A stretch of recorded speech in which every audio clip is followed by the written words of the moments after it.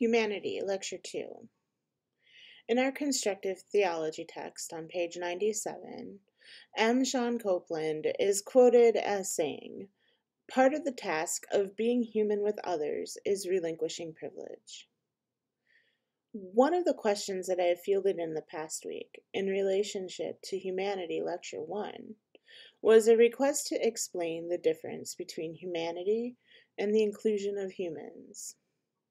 This question gave me pause, mostly because it helped me to see that I often get caught up in the theory of this theological life project of mine. And it's within this caught upness that I often slide into a dangerous place of privilege constructed bias. That is, in my absolute quest to digest theory, theory that has been laid out for me by very excellent moral mapmakers, I myself have become too dependent upon the map that has been drawn before me. So this week's video lecture is going to be less lectury and uh, perhaps, hopefully, more conversational.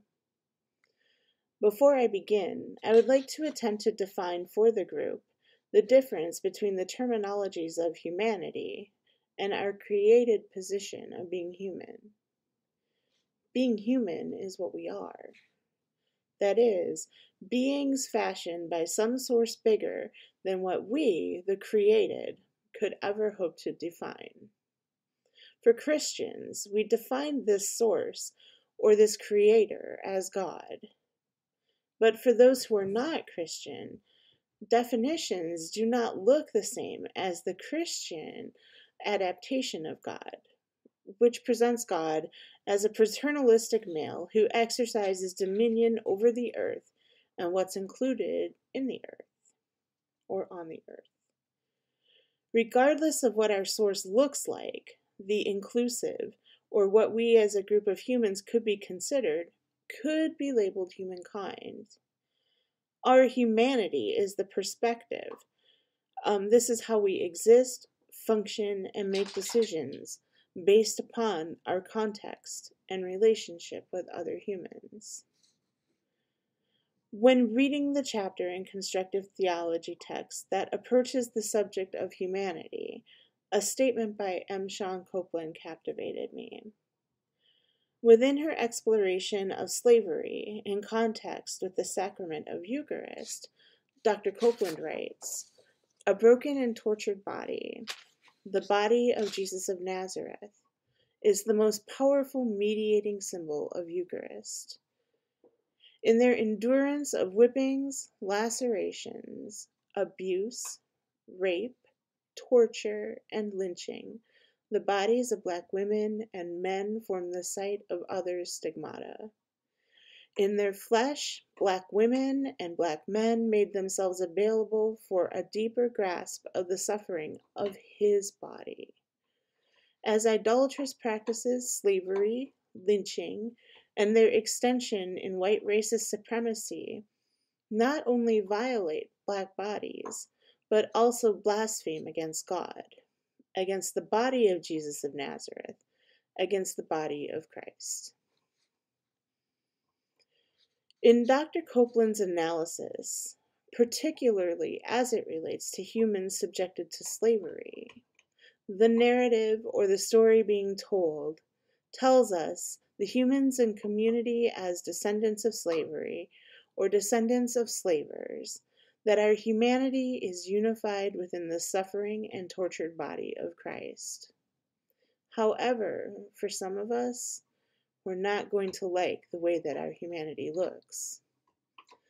Slavery was a church sanctioned moral and ethical failure, though at the time, slavers would have argued that their moral mapmakers, that is, the church and church leaders, drew the map that led slavers down the path of commodifying human beings. And slavers and moral mapmakers alike knowingly drew upon the Bible as the source map and the starting point for their painfully misguided, sin filled evil journey. during the time that human beings were being subjected to the sort torture and dehumanization that was brought upon them by slavery. Those who were the victims of brutality, human beings held in bondage to corrupt moral mapmakers, became vessels that represented the ultimate sacrifice presented through Jesus. During a time when sin and evil were presented as morality, evil was conquered not through evil retaliation, but rather through a manifestation of stigmata, or reliving the suffering that ultimately revealed that moral map making, when reliant upon human nature, can indeed manifest itself as sin. Constructive theology tells us that Augustine affirms that bodies are good and destined to preserve, be preserved eternally as marks of individual identity. And that's quote from page 92. And this sentiment sounds nice. Who doesn't want to be remembered as a good human? Who has lived up to their createdness in a grace filled and God honoring way? It would be safe to say that many of us truly believe that we use our gift of free will in a manner that is primarily ethical.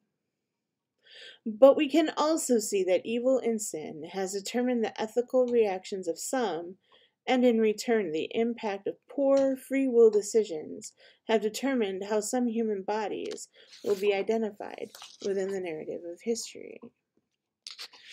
However, understanding that these moral mapmakers drew maps that did not lead to ethical ends provides us with an inheritance that suggests that ethical decisions are situational and are dependent upon the greater good rather than what feels good at the time. Throughout the semester, in various capacities, I have become engaged with the projects that each of you have brought to the table. Within the context of these projects, the very humanity of each person in this group has been exposed. It is within these contexts that I've been able to get to know each of you a little bit better. Within our group, one of our colleagues is exploring how the structure of storytelling has the potential to impact the way in which we exist in community with one another particularly at the intersections of disability, mental health, and death. And this context is important, mostly because whether big, small, glamorous, or seemingly invisible, our very human lives are stories that interact and intersect with the stories of other human beings. Augustine believed that history is important, that remembering not only our ancestors, but also who we as individuals were in times past, is a critical component of our human formation. And there is truth in this. If the cliche stands true, if we are not different in our humanity from who we were 10 years ago, 5 years ago, or even yesterday, then we are not realizing the fullness of our humanity and the fullness of self. And this is where the importance of storytelling becomes your human truth. Telling our stories gives us the opportunity to make ourselves vulnerable in ways that can be uncomfortable. But our stories can be liberating because the stories of our historical humanity tell the tales of how we sometimes become ensnared by morality drawn by moral mapmakers from our past, even if that mapmaker is ourself. Stories can remind us that bad decisions do not have to define us. Ethically good decisions have the ability to not only honor truth and good, but ethical decisions provide each human the ability to liberate self from some forms of morality formed to create a soul that works to imprison our very humanity. You want to know more about this? Um, read Discipline and Punishment by, um, or Discipline and Punish by Michel Foucault. But that's another rabbit hole for another day. Theory cannot tell us how to tell our story. At best, theory can only inform the story insofar as theory influences the ability to make ethical free will decisions.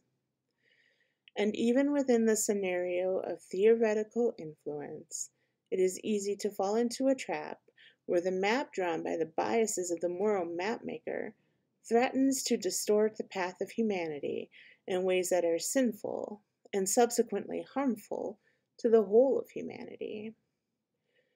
Theory can provide comfort during ethical confusion, but ultimately, theory can work to normalize the story, thus categorizing our humanity into places that suggest that our responses can only fall into spaces of either or rather than all of the above.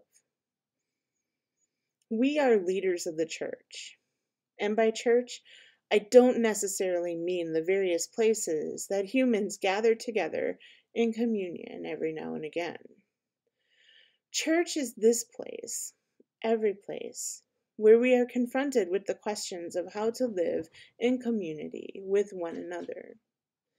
When we are faced with these questions, how we confront these questions begins a new chapter of our story.